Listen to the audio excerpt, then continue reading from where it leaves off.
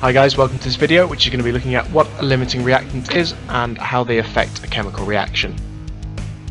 So any reaction will have something called a limiting reactant. So for example if I had lithium and reacted it with water to make lithium hydroxide and hydrogen, now the limiting reactant is the one that is used up first. So for example if I had 2 grams of lithium and 100 grams of water and the lithium ran out first, that is what we call the limiting reactant.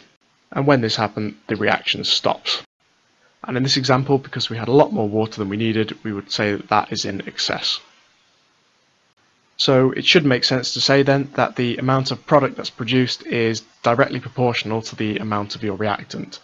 So if you double the amount of your reactant, you'll double the amount of product you can produce, provided the other reactant stays in excess.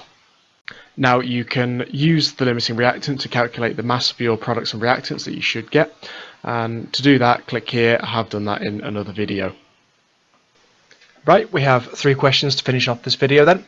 The first one being explain why when you use 3 grams of carbon in a combustion reaction a maximum 11 grams of carbon dioxide is produced. Question 2 explain why in the above reaction the mass of oxygen does not affect the mass of the end product. And then number 3 prove that the maximum mass of carbon dioxide produced is 11 grams when 3 grams of carbon reacts with excess oxygen. To do question 3 you will need to go back to the video on calculating the maximum mass of a reactant. Pause the video, have a go at the three questions and we'll see how you've done in a minute. Okay, let's go through then.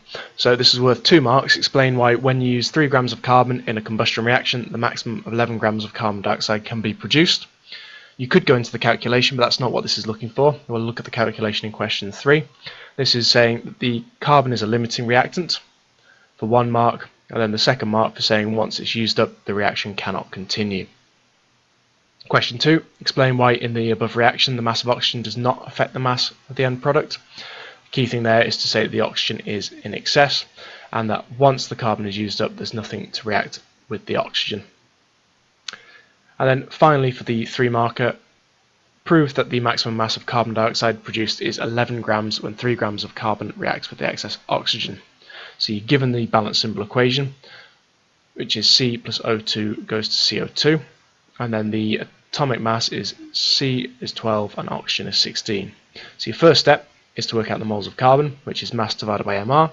So 3, which is your mass, divided by your mR of carbon, which is 12, gives you 0.25.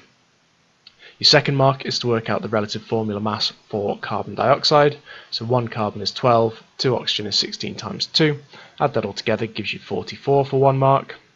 And then your third mark, mass is moles times by mR, so times 0.25 times by 44, and that gives you 11 grams, which proves that the maximum mass of carbon dioxide produced is 11 grams.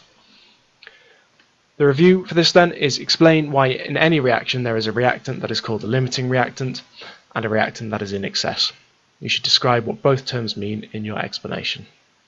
And that ends this video.